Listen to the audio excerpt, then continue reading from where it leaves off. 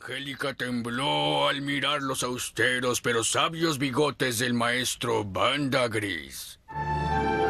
Angélica Botón, solo eres una chiquilla. ¿Qué asunto quieres tratar con los consejeros de Merlín? Una advertencia. El ministro de la gentileza, el señor malvado, no es lo que parece.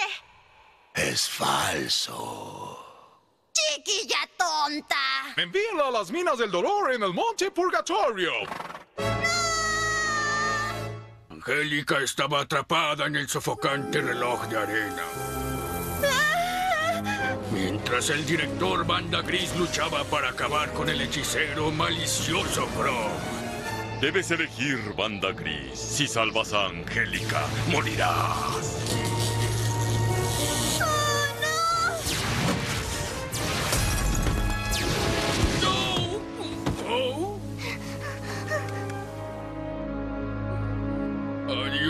Angélica. Adiós.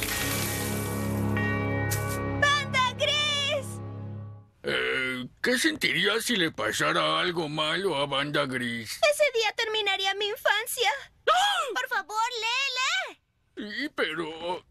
Angélica estaba atrapada en el sofocante reloj de arena. Debes elegir, Banda Gris. Si salvas a Angélica, morirás. ¿Por qué te detienes? Casi llegamos al final feliz. Ningún libro hará que mi hija esté triste. Haré lo que sé hacer mejor. Mentirle a un niño. Banda Gris miró a Croc fijamente a los ojos y dijo... ¡Activar poder bigote!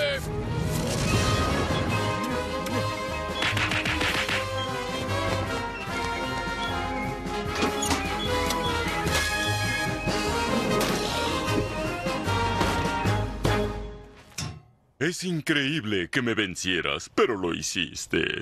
No sé cómo, pero escapé del reloj de arena. Y ahora a seguir viviendo.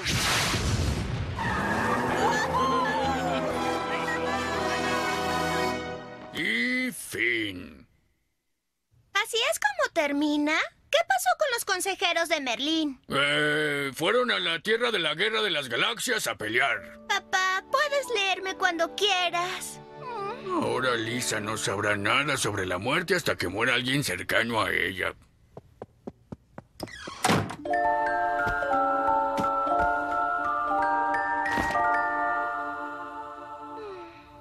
No, el final de papá es mejor.